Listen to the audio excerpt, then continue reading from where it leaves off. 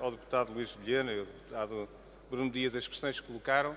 Bem, em relação ao deputado Luís Vilhena, eh, tenho que andar à pesca à linha praticamente para perceber as perguntas que colocou, mas efetivamente veio falar de medidas avulsas, de nove propostas, para uma lei que já existe e que é boa.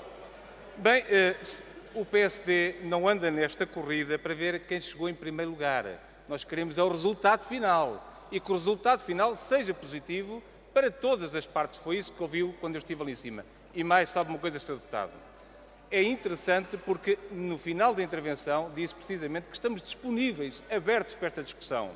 E queremos crer que o Governo e que o Partido Socialista estão a bem nesta discussão e que não vão desta cantiga, desta castração do mercado de arrendamento que é proposto pelas esquerdas e pelas esquerdas mais radicais.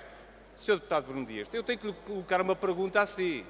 O senhor pretende o quê? O senhor quer revogar a lei que é para ir de encontro à lei que o senhor votou contra. É isso que pretende.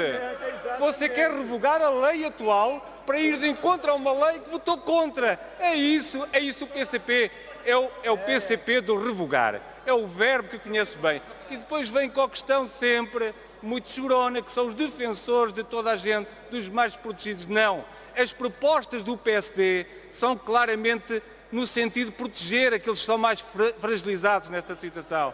E os comerciantes também, quando, é necessário serem protegidos. Temos múltiplas propostas desta natureza. Já as apresentamos noutras iniciativas e aqui também naquilo que fizemos. Muito obrigado.